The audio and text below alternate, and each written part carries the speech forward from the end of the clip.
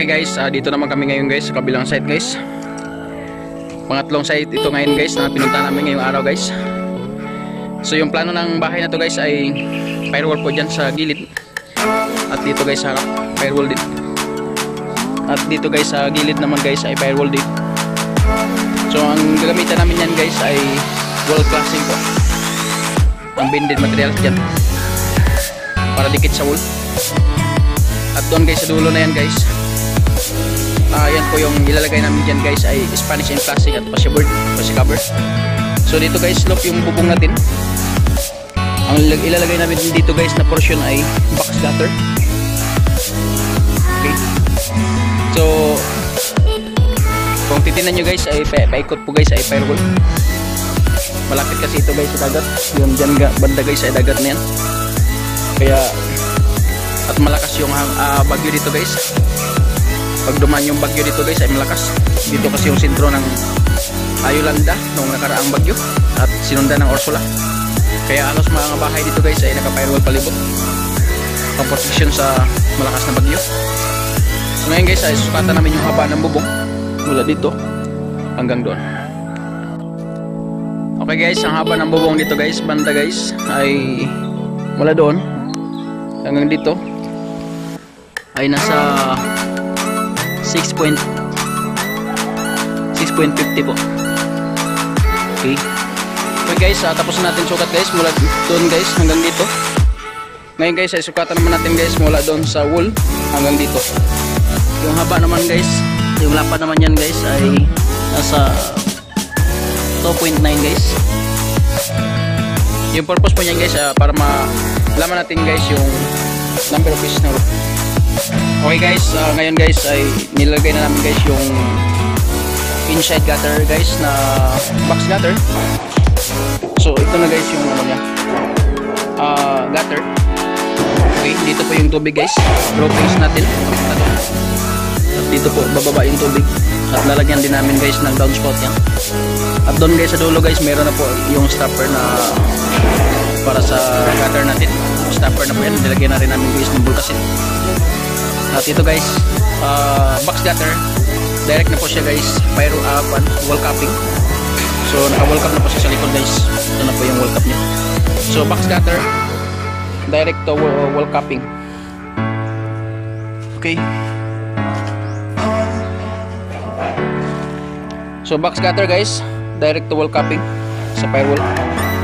So ngayon guys, uh, ilalatan na namin guys dito yung uh, roofings. Yung lalagay naman naman dito guys sa gilid guys ay wall capping. May may guys ilalagay namin nandun na yung wall capping guys sa baba. Si Rinald Makabante guys, siya yung foreman dito guys at si Toto Pilayo, assistant. Uh, installer.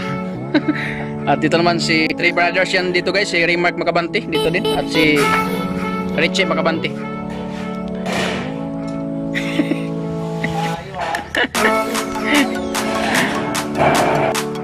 Okay guys, uh, tapos na namin guys, ropings guys, yung paikot guys.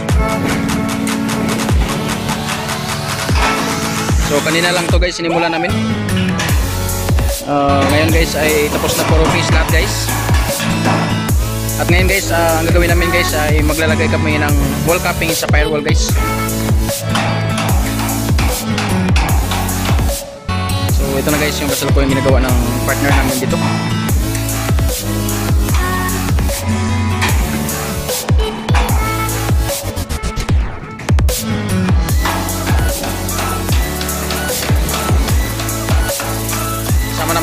Dito guys ay wall classing guys. Unconnect sa wall capping guys yung ginagawa namin dito.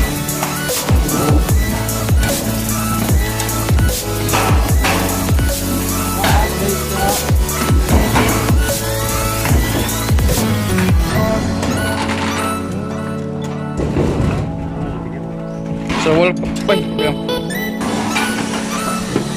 So ang ginawa namin ngayon guys ay kinakatingan namin guys yung uh, flashing. Marapit po yung flashing natin guys sa rib ng roofings.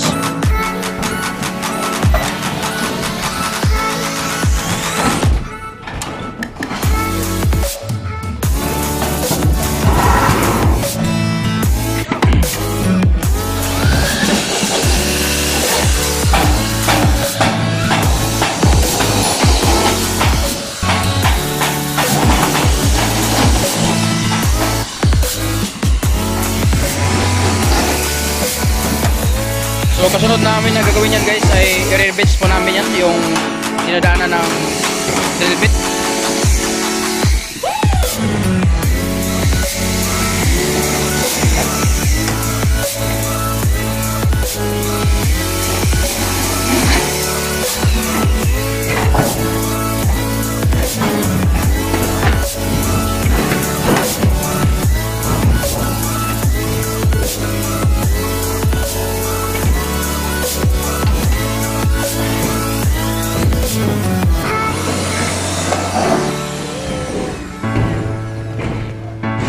So ito po guys yung wall flashing. May cutting na siya guys ng uh, kinakatingan natin ito guys para fit po yung yung uh, flashing natin sa rib type guys. At ito naman guys yung wall capping. Okay. So sa wall po guys at dito naman guys pinapako dito sa likod yung wall capping natin.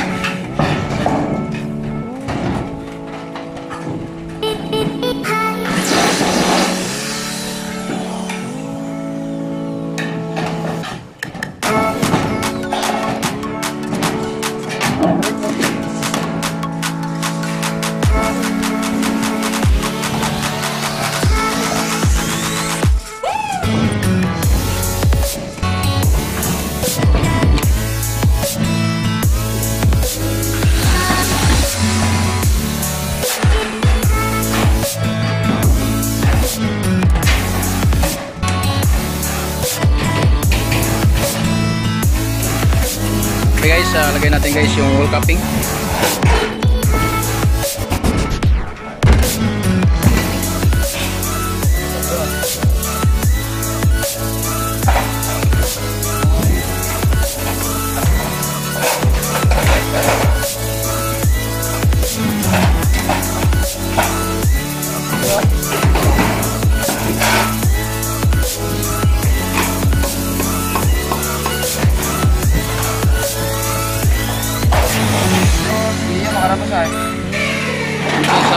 Sa Pandalabatan. So ang ginawa ng partner namin guys ay kinakantuhan niya yung wall capping.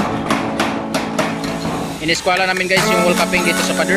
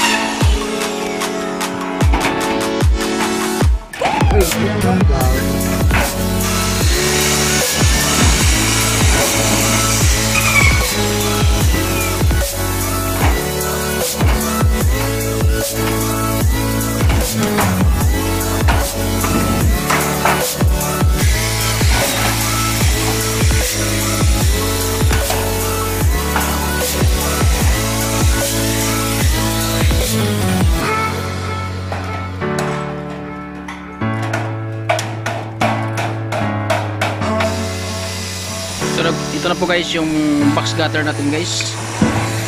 Wala yung tubig tayo guys doon sa dulo. Punta po dito guys yung tubig. Ito na po guys yung box gutter. Inside gutter po ito guys. At ito naman guys ay wool, cement. So nilagyan namin guys ng capping. Ito na po yung cap niya. So ang gawin namin guys, ipapako ko namin dito sa wool.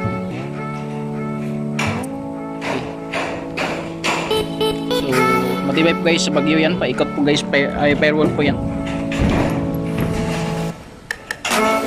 Okay. So ngayon guys uh, ginawa namin guys ay ginagawa namin guys yung firewall dito sa harap. At bukas naman guys ay dito naman na portion. So dalawang alaw lang ito guys. Ano, uh, matapos na ito bukas. So, foam green po yung kulay ng rupis. Uh, 0.4 po yung red type natin. Ang thickness po niya. So ito na guys yung kanto wall capping. Okay, mula doon. Hanggang dito. At connect dito guys. So ito guys yung maya maya guys ay ikakating nila yan guys ay kukonek naman yan doon. At diretso po doon sa inside that. So ginawa namin guys uh, nilagyan namin guys ng ball castle guys yung corner ng wall capping para sure ball guys na hindi po makadalo yung, tub uh, yung tubig sa, sa loob po ng bahay isang kasama naman namin guys ay nagpo-protect po ng roofings Okay guys, uh, ilagay natin guys yung wall capping guys sa dulo guys. Connect sa box gutter. At i-connect po natin guys dito. Yan.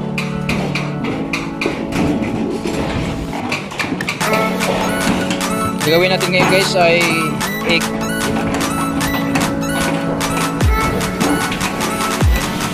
Kakantuhan natin guys yung box in uh, box wall capping guys. Para magko-connect siya guys doon yung gumagawa dito guys, si Reynold Macabante, sila pa rin yung grupo guys. Kahapon guys, doon kami galing sa school na third floor. Ah, fourth floor pala yun. Ngayon ay dito naman sila ngayon sa bahay na slope. Macabante guys, yung kasama namin dito. Sila pa rin na grupo guys. At ito naman guys, yung kasama namin si Toto Pilayo guys. Ram naman si Aklan. Ito yung grupo guys na maasahan guys sa pagdating sa roofings marami ito sila guys. Kaya kahit dalawa o tatlong project na sabay-sabay guys ay kaya nilang paghati-hatiin yung grupo nila at gagawin yung project. Tuloy-tuloy po yung trabaho nila guys hindi putol-putol. Guys uh, tapos na po guys yung project namin guys dito sa New Washington, Aklan guys So kung titignan mo guys, nakalagay na po yung firewall, wall capping. Yan.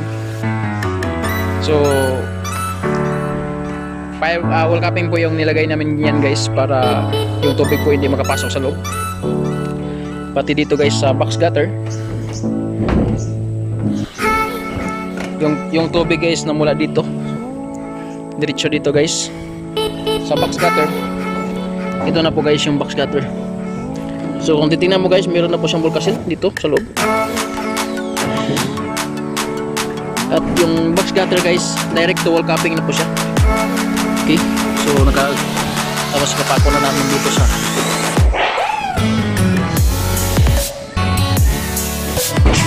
okay so guys ito guys yung wall capping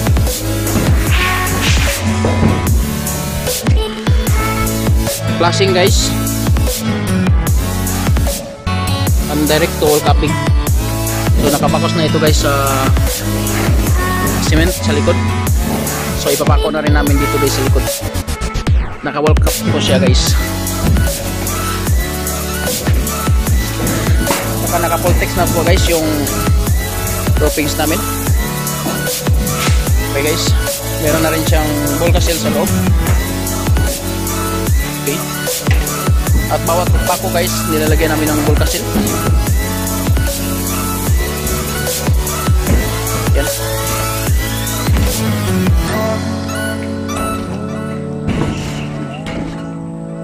Okay. Okay guys. Uh, tapos na guys yung project namin dito okay si Jimuel Villamor guys sila yung nagtapos sa project dito ito guys si uh, Michael Trahe yung kasama namin dito. Dito ang portion guys uh, lalagyan namin ito ng Spanish and plastic at saka pa siya cover. Okay guys baba tayo guys. Tingnan natin sa baba. Okay guys uh, dito na namin guys ilalagay yung Spanish and plastic at nakalagay na guys yung pasya board sa baba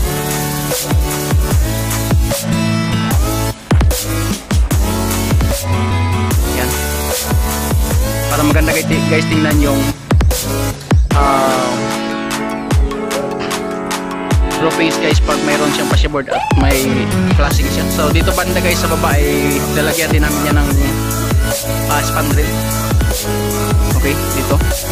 So instead na plywood guys yung nilalagay namin dyan ay spandrel po yung nilalagay namin dyan para maganda tingnan po. Yun yung kabuuhan guys sa bahay. Okay guys pasukin natin guys sa loob